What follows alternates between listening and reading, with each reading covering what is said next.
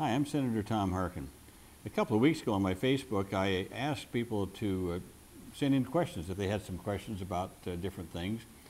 And Crystal Schrader sent in a question, wanted to know what I was going to do to fight the House Republicans' uh, cuts uh, in community service programs.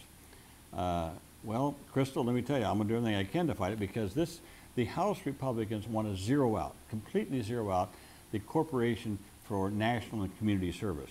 That would be no funding for AmeriCorps, no funding for VISTA, no funding for the uh, Senior Corps.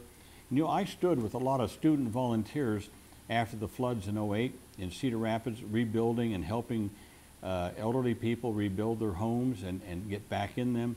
And it was wonderful to see all these young people volunteering, AmeriCorps kids, uh, Vista, and, and the House just wants to zero that all out. Well, look, I know we're in a deficit. We've got to bring our budget under control. But why do we have to try to do this on the backs of, of, of these young people who want to volunteer and who help the communities to recover from disasters? It seems to me this is penny wise and pound foolish.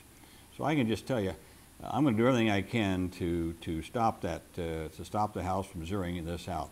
We need VISTA and we need AmeriCorps.